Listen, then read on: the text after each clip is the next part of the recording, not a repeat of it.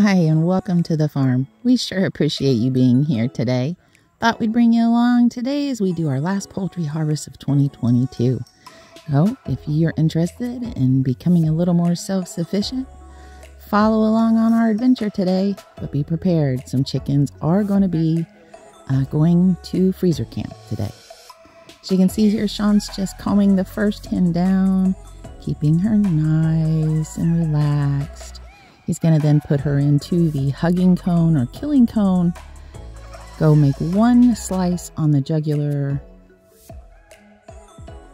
Very humane way of culling your poultry.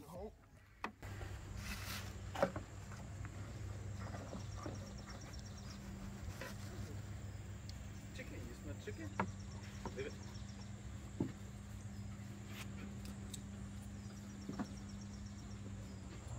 Because she'll go through a couple of stages where nerves will kick in.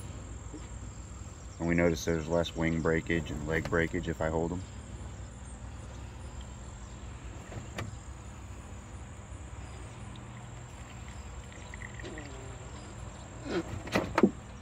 Do not show on me. Happens upon occasion. Hopefully not the first one though. That's Not a good sign. make for a whole a of time. We don't want that.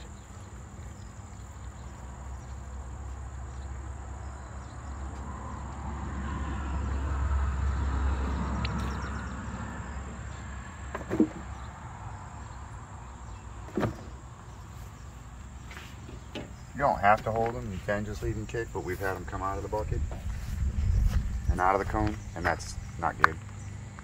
And we've had them break wings, break legs, so it's not worth it.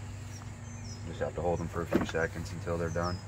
And their nerves are done, and then they're okay.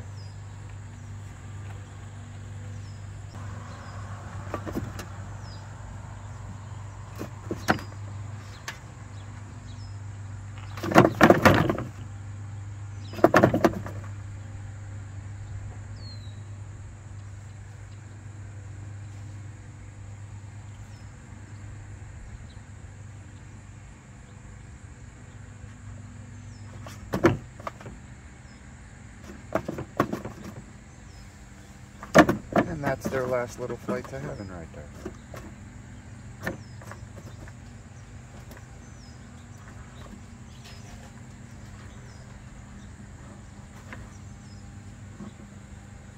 Alrighty. Now what, babe? Now I just wait and let her drink. Yeah. Clean up mine right now. Yeah.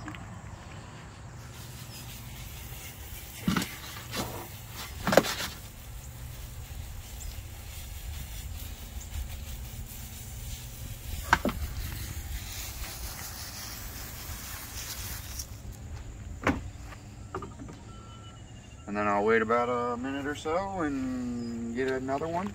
I'll transfer her over to the feather box to let her drain some more for the four minutes and then get another one and do it again and start the rotation. Yeah, now we get the second one. Thank you for your sacrifice, Mama. Nourish our bodies, our souls, and then back to Mother Earth. We sure appreciate you. Ooh, got the first one hanging, bleed out more before he dips it. On to the next. think my shit went out. Oh, you, you'll drip the water on it.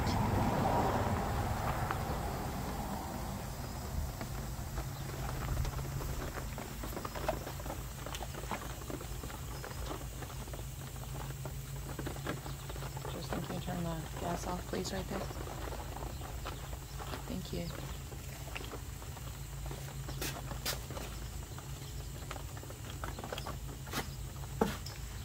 Thank you.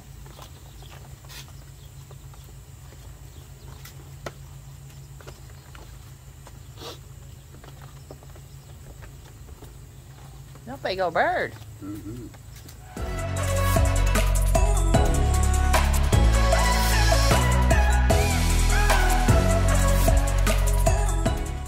Ooh, look at them thighs. That's the thunder thighs we look for. Baby got back.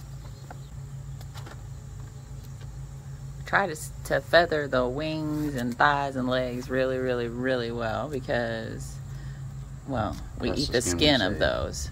And then we don't really eat the skin of the breast. We prefer the boneless, skinless.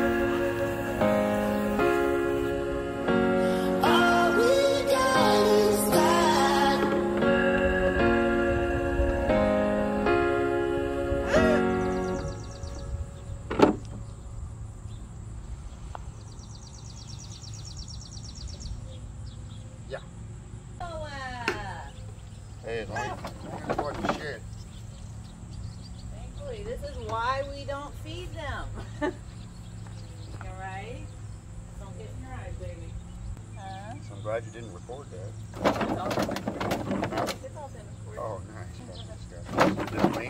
Yes, I just messed it out. Why? It, it, it happens, babe. It, it, it, it happens. It, I'm sure you are not the first that happened to. I'm just glad I keep my mouth shut I'm just glad too. And I'm glad we've done it enough to know, and shut my eyes. right, that that first good jump or two, you kind of uh, keep everything closed and finished. Put this look top like kind of right here for you. Yeah. Just in case, huh? Well, you never know. You never know with these things. They happen. I'm just glad it was you and not me. Sorry. sorry, not sorry. Story. How you doing, Bubba? Getting it done? My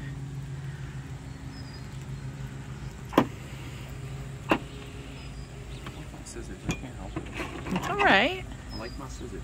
Hey.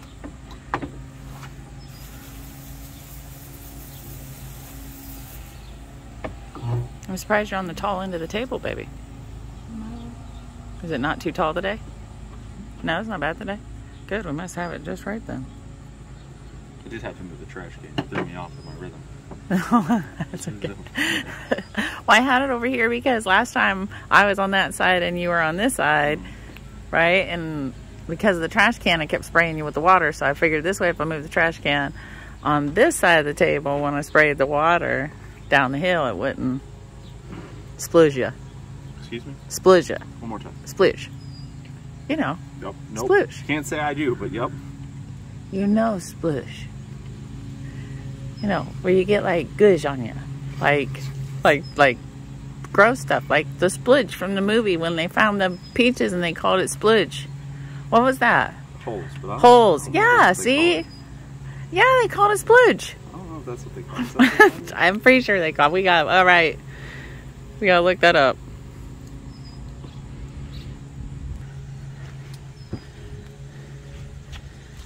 Now he's going into the cavity the chicken. He's already She's still removed away all that. Whoa, hey now. I got a camera there, dude. I mean, all Was that payback for splidging you? damn straight. All still hot. Everything's still Latin. Everything's such a grab. Don't spray a bunch of water in its gut, you'll regret it, trust me. I'm taking it up higher. I'm taking it up higher. I'm taking it up a mountain. It's time, it's time to jump. Flickering flames.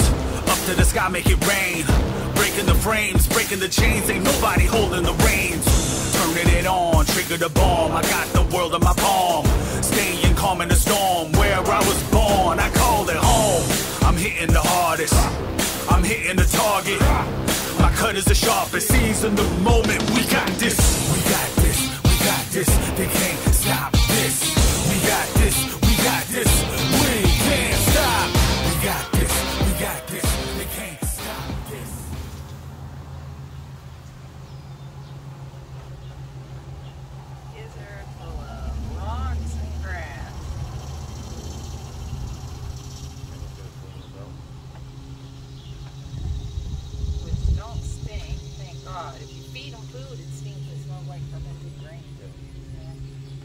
It's Like sour, something. Gout.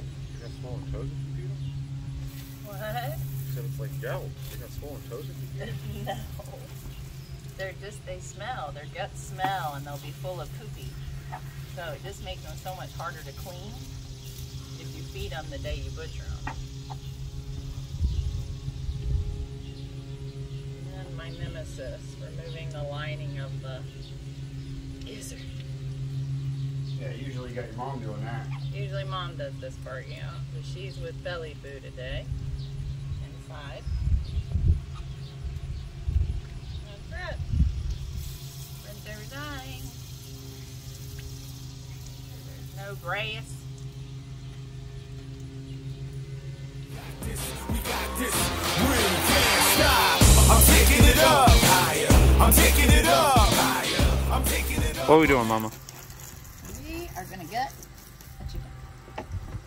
First thing I do is cool it off after Sean gives it to me. Yep, this is presume that the culling is done, the feathering is done, Yep. and then this is what you're left with? Yep, yep. So first thing I do is rinse it off real good to start the cooling process. Then I'm gonna go ahead and just get rid of the head because we don't keep or eat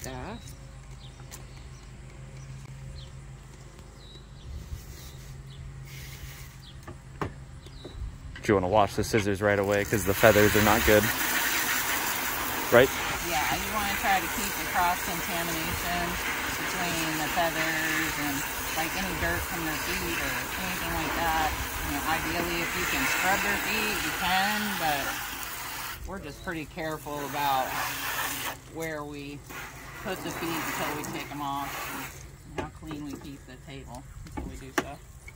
So I went ahead and took the head off. Now I'm gonna go ahead and pull back any of the the skin. I don't want to keep that with my drumstick. So I pull that back and then just cut the tendon right here between this joint and it'll release and you can just bend it right back real easy. If it doesn't bend back real easy, you didn't cut in the right spot. And then once it's like that, you can use a knife, which I'll do that here in a second. It's just a little harder. We prefer the scissors, but you can come in with a knife and just kind of downward stroke and then back up the opposite way. If you ever question it, just keep in mind your drumstick and your bone that you normally see on the Yeah, drumstick. you want to see that nice roundness right here so that when you eat your drumstick, you don't get any splinters of bones. So again, you can see I got some dirt on the table. I have some on my gloves. I just try to keep that clean, keep my chicken away from it.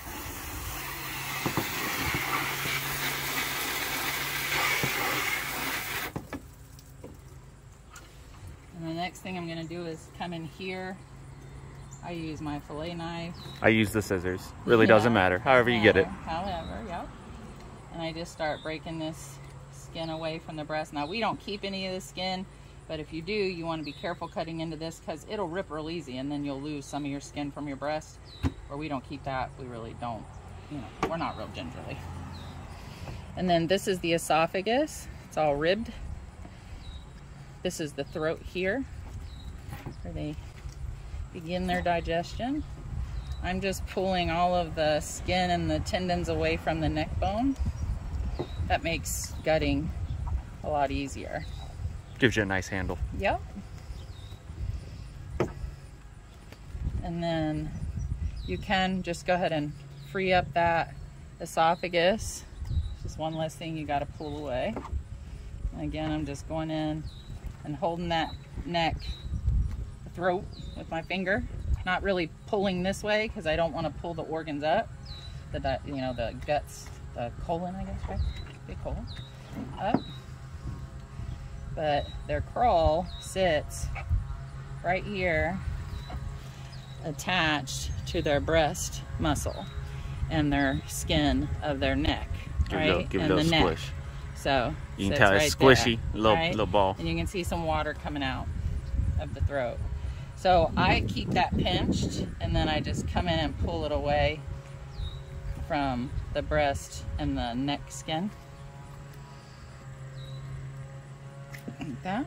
And then to make my life easier, I go ahead and get rid of this because we don't eat a bunch of chicken skin, really. I just keep it on my wings. And then make sure that crawl sits right there, that you get it pulled away from the breast meat. Like that. All this i call it sinuate tissue. I don't know if that's the correct name but that's what i call it.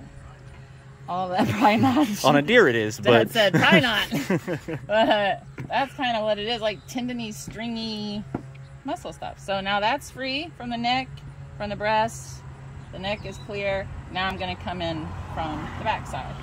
i hold the legs back that puts the organs here so i grab this skin and pinch it then i can kind of release the legs and I know my organs are below that.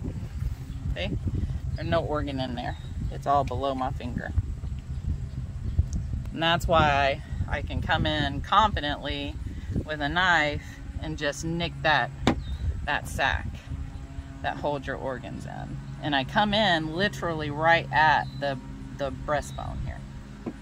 I'm still not confident, so I just use the scissors and get a little itty bitty Yeah, hole and then rip it with my Yeah, fingers. definitely. You can always just get a little until you can see inside, which will look like that there. Yep.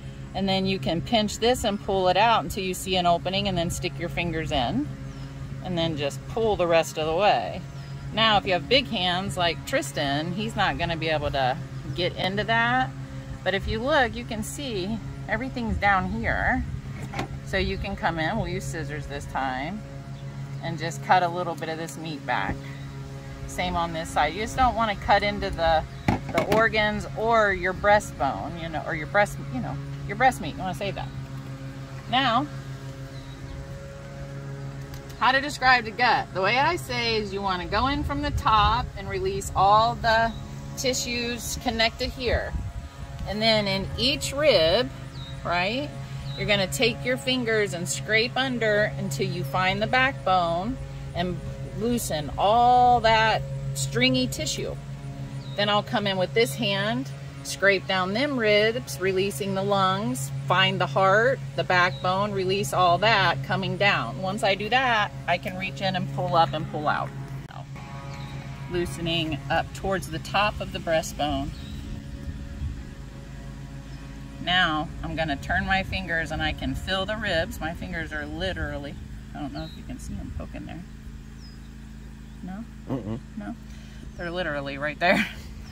I can feel the lung in those ribs. So I'm just working my fingers under those lungs in between each rib, lifting and just working. Don't be afraid you're gonna puncture anything. You have to really poke or pull pretty pretty hard before you puncture something. And then once I can feel the backbone, the spine on the back of my fingers under there, I'll come in and do it from the other side. Working from the top of the breast and then reaching in and loosening all that up.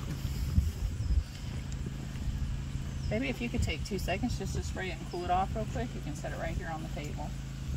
And I'll do it next. How many have we done so far, Tristan? Mm, I think this one's number four. Yeah. I think. So now I've reached in with this hand. The spine is under my fingers. So because I'm a righty, I'll go back in with my dominant, stronger hand. I can feel the heart and all that. I've already loosened everything up. So this is where I use the neck and I'll put the crawl here and I use the neck to hold it. This allows gravity to allow the you know intestines to fall towards the bottom and then I hook that esophagus or the throat, not the esophagus, and I pull and the guts come right out. Which that's the crawl on her hands to give you an idea. Yeah. Where she hooked and where she kind of grabbed down at. Yeah. And then I just finish scraping them out. Did you spray her off, baby? Come there, right here, head that way, please. Beautiful. Now, here's the intestine that goes to the vent. We're going to cut away the fat and tissue holding the gizzard, which is the stomach. And we'll pull these aside just in case there's any accidents here. We keep the organs away that we want to save. Hopefully we do. Angle My of the table. Yep. And then I come in on each side of the vent and the intestine, making sure not to cut that intestine. And then once I get alongside it, like that, I come in and angle this way towards the tail and come down. And that frees up that side. And then I repeat the process on this side. Just go real slow, as comfortable as you are. And then once you get past, go right back into the tail. Now you can cut that with a knife, but it's really easy with scissors because you can just kind of come in and snip that. And then you get the vent, you get the oil gland from the tail. You don't want to keep that. You get everything off in one swoop. And now I can free my chicken up from any Go ahead and the- contamination just in shape of the case. Just kind of give them an idea of the the angle that you come down. The angle for the tail here. Mhm. Yeah. Mhm. Yep. And then I'll leave these here for just a second and I'll go ahead and we save our necks because I use that for my bone broth when I do the butchering tomorrow. I'll do these and the backs and any bones from the breast and we'll cook them down into some bone broth. And then she is ready to be rinsed and put in a cooler. Put her there for now. Now what I'm going to do is get that fly out of here because that's driving me nuts. Perks of being outside. Yup. Is I'm going to free up the gizzard here from some of this, whatever it's called. Sinuate. Yeah, that's what I'm calling it. And then this way too, I can get my liver away from it and get the gallbladder away from it, which is this right here that you do not want to get anything that's in there in your meat at all. It's done. If it even pops, just throw everything away. Bad, bad, bad stuff. But all this, sorry, babe, all this um, fat and tissue and all that, kind of break away so that your gallbladder and your liver and all of that are away from each other. Like that.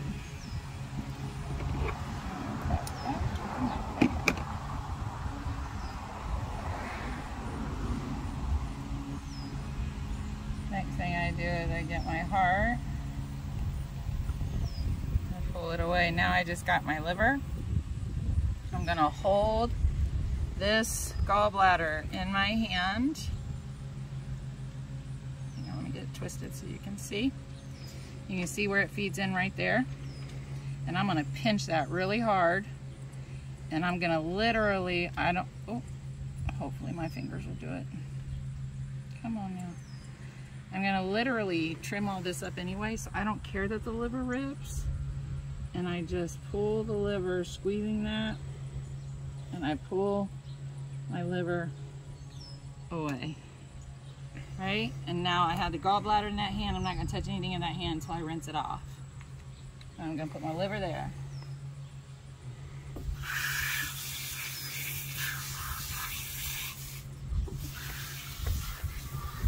Okay. Now we're going to do our heart. Heart's in a sack, just like a human heart. So that sack, you just kind of pull it off. That's what that was. And then you just kind of come in here and cut it down. And go ahead and cut the gizzard away from its intestine. So. And this is all garbage. You could, some people feed it to their animals or pigs. I mean, you could definitely use it. We don't have pigs, so I'm gonna go ahead and rinse the table real quick.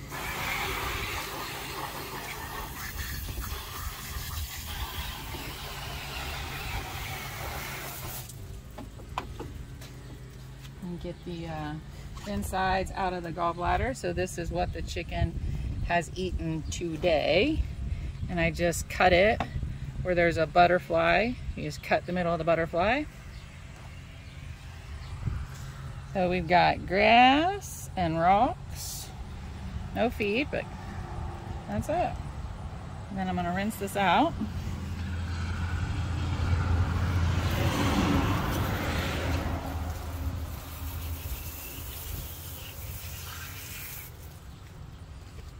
Out.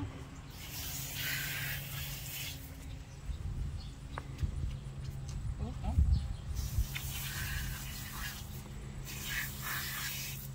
Okay, rinse that. My gloves are clean. And then I gotta take this inside of this stomach. Oh, I'm gonna get it, Tristan. Oh, Tristan, I'm gonna actually pull it out for the first time. Fly. Take the inside out. You can't eat that, but you can eat that. Yeah, those little ball sacks are delicious. When you cut them, you want to trim all this white off, and you end up with just these little balls of meat. If you trim all that off, trim, I even trim the inside of the stomach off. Some people don't, you can't eat it, it's just a little bristly. I don't care for it. A little too chewy. The liver, I just clean any of the little fatties off of. Make sure it's clean. When I trim it, I'll trim all this off, all of this here and I end up with two pieces of liver. The heart we just like that. Well, we cook it. It all gets fried up like uh, scrumptious, yummy internal nuggets. You know, you're not used to something like that, it could be gross for you to hear, but uh, if you've had it, you know how delicious this is, and you're very jealous. And I'm gonna rinse this girl out real good. Oh, I forgot my neck. That in there. Guys got a metal bowl in there and ice so that those stay cold. You don't want to submerge those in water, especially your liver, your livers, your livers, your livers, because it'll turn them real like a pale color, brown, or gross.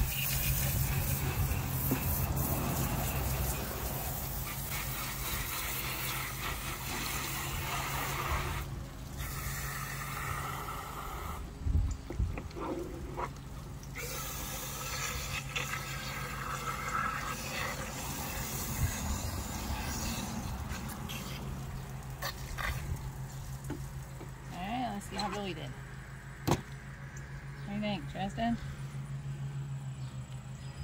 She good? Oh yeah. Looks good to me. Then what we do is we bring her over here to our cooler. Where you can see we have some others already. And we fill the cavity with ice.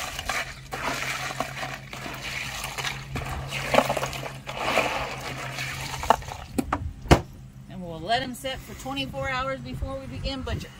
Boom. On to the next. Go wide.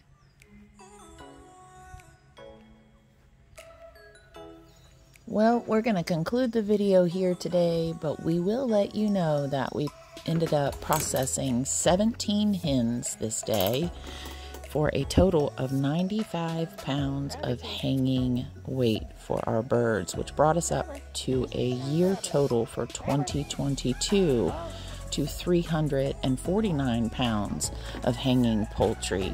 uh, weight in our freezer. So we are extremely blessed this year to have been able to do this with and for our family and look forward to continuing to do it in the future. We hope you like this video. Please subscribe, like, and share. Ding the bell. Till next time, have a great day.